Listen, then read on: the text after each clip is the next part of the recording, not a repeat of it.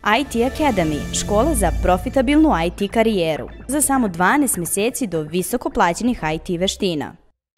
The winner is the guys from Web. Verbify.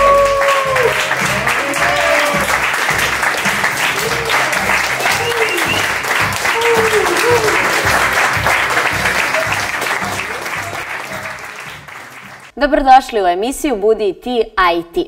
Četvorica mladih programera iz Srbije ponudili su rešenje za pametnu hotelsku sobu budućnosti kojom se glasom uključuje svetlo, pali klima, poziva taksi, a isto tako su osmislili sistem koji e, identifikuje lažan broj pregleda reklama na internetu i samim tim ostvarili velike uspehe na međunarodnim takmičenjima hakatonima u programiranju.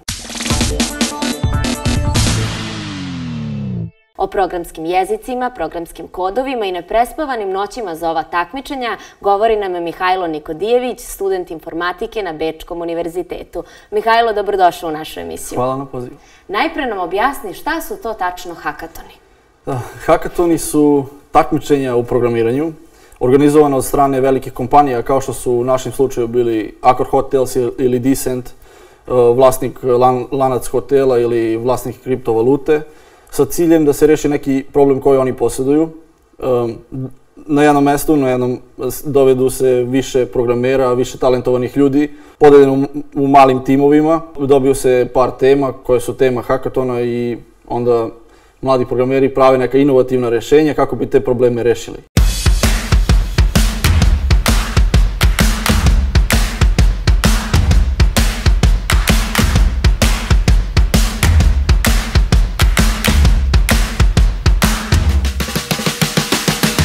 Hakatoni obično traju od 24 do 48 sati, e, to znači bez prestanka, bez spavanja, sve u jednom, na jednom mestu. Da, i na kraju se prezentuju te ideje, pravi se prezentacija, radi se onaj pitch ispred žirija i onda se bira pobednik.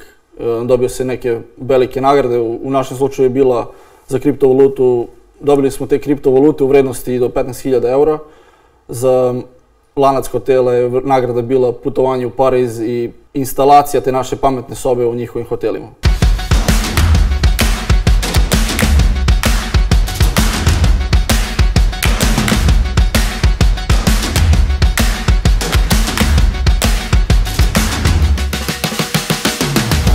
Zasluga svih tih uspeha je zapravo naš timski rad.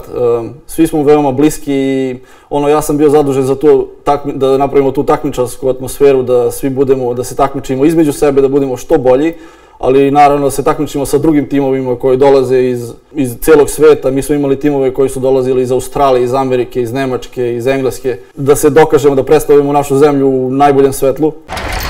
Koliko va, misliš da je važno da se odvažite u pravom trenutku i da pokrenete svoj projekat? Negde vi ste to mogli da uradite pre nekoliko godina kada ste zaista pobedili na tom hakatonu. Naravno, to je upravo bila naša najveća greška, zato što smo veoma kasno izašli na tržište. Naime, posle mi smo imali već e, prvi prototip tog marketing produkta za Wi-Fi već pre dve ili tri godine, ali smo zbog nedostatka iskustva u biznisu i nedostatka možda podrške od nekog ko ima više, više iskustva na što se tiče tih um, legalnih stvari i biznis stvari. Uh, nismo se usudili da, da izađemo na tržište sa tim produktima i stvarno prodamo.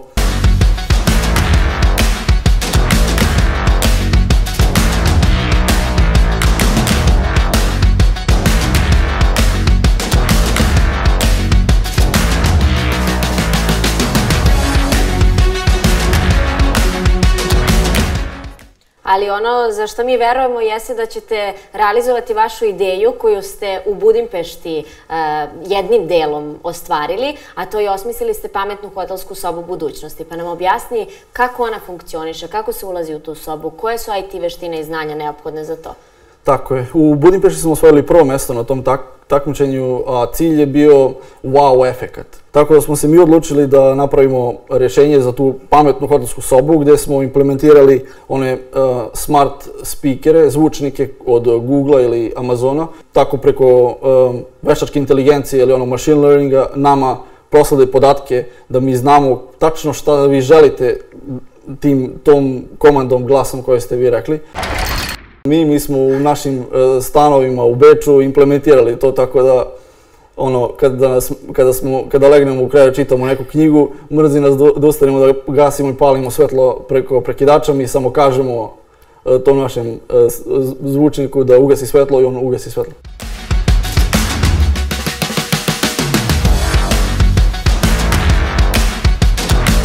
Interesantno je pomenuti za Beč da ste u stvari napredili bankovni sistem. Na koji način? Da, to je bio naš treći hackathon koji smo isto osvojili u Beču.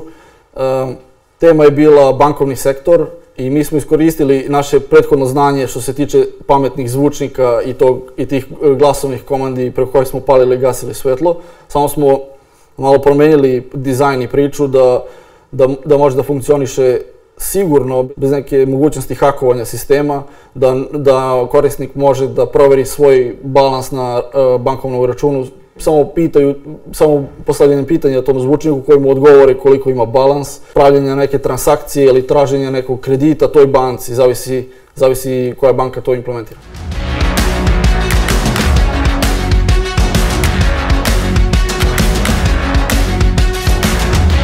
A koji je vaš savjet za sve mlade ljude koji takođe kao vi žele da se odvaže na kako digitalnoj platformi, tako i IT sektoru i da realizuju i da stvaraju?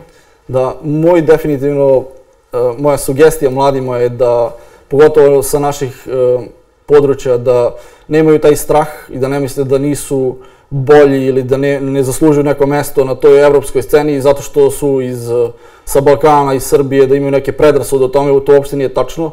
Moje iskustvo kaže da i u Beču i na, sa tih hakatona da su baš studenti i deca koja dolaze sa ovih područja dosta bolja, inteligentnija, što, što se tiče matematike koja je veoma bitna u IT oblasti, dosta su bolje um, potkovani tim uh, srednjoškolskim obrazovnim sistemom nego deca koja dolaze iz, iz Austrije, Nemačke i drugih delova sveta. Mihajlo, hvala ti mnogo i želimo mnogo sreće i uspeha vašem timu i obradujte nas sa nekim novim rešenjima. Mi se nećemo buniti. Hvala puno. E, hvala i vama što ste nas pratili i ove srede. E, nestrpljivi smo da i kod nas, možda i u stanovima, zaživete pametne sobe na glasovne komande, a mi se vidimo sledeće srede i predstavljamo nekog novog IT stručnjaka i poznavaoca digitalne platforme. Doviđenja. Prijatelj emisije IT Academy